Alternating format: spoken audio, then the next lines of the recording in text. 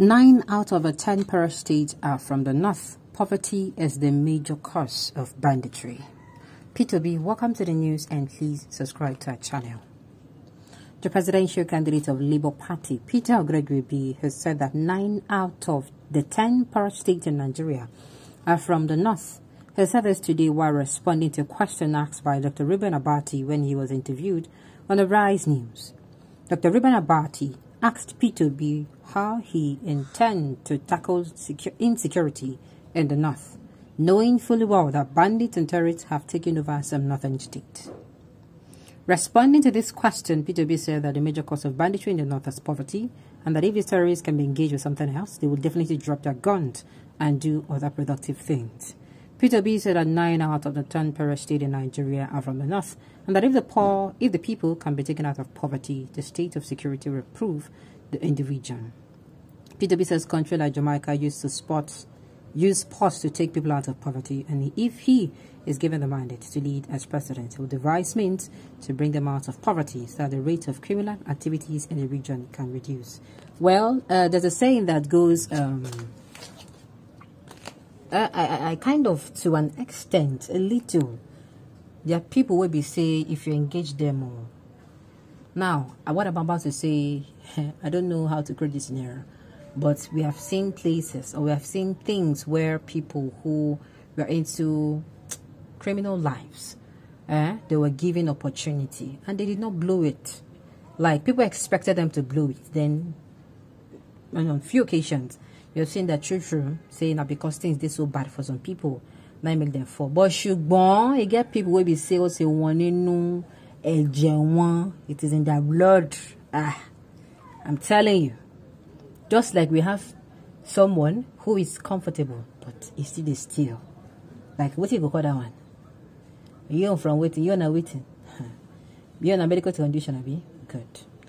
But like I said, it's true. And the thing is, apart from poverty, they are weaponizing poverty. You know, it is it is it is a different thing. Say something they then it can't be a different thing. Say that poverty in the weaponizer. The people in the northern region, they are not open-minded. The elites know they give them breathing space. Say me they know say there is more to life.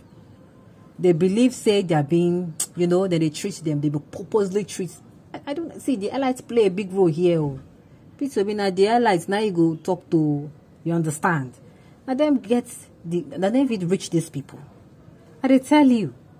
Because how can a particular religion see civilization as, you know, satanic?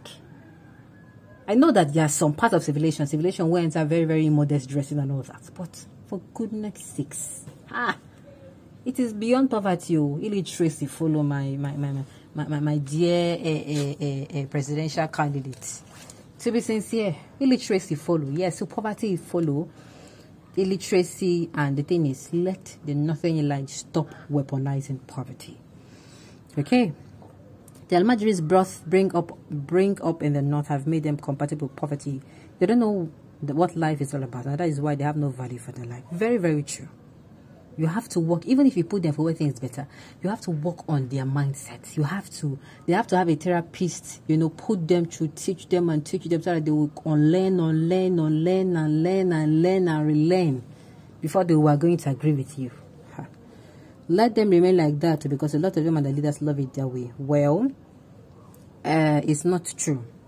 It is true that in this their state, it will feel that, you know, the leaders will make them understand. If somebody is trying to bring uh, what's it called to bring uh, to bring um, education to that place. It is true that they will fight against it, but if they like this, like I said, if they work on their mindset huh, gradually, they'll come say truly poverty is being weaponized, and of course, civilization does not really mean that you can you can turn you know bad. They'll not show them the good or the advantages of you know of you know being open-minded, seeing things from another angle, accepting that there is more to life. With that they're going to gradually now learn other ways apart from the criminal activities. So I agree to an extent. Okay, on this note, we've come to the end of the news. We say thank you for tuning in to listen. Until I come your way next time, enjoy the rest of your day.